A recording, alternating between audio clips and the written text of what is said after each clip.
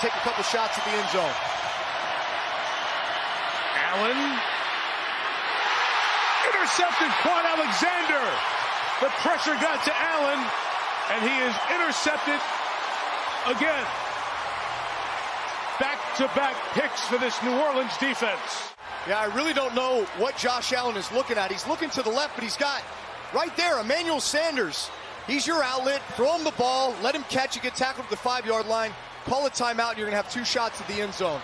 Instead, you hold it, you hold it, you get your arm hit, and you miss out on getting points for the half. Nice job, though, by the Saints. Pass rush, relentless. Cam Jordan. Cam Jordan making another play.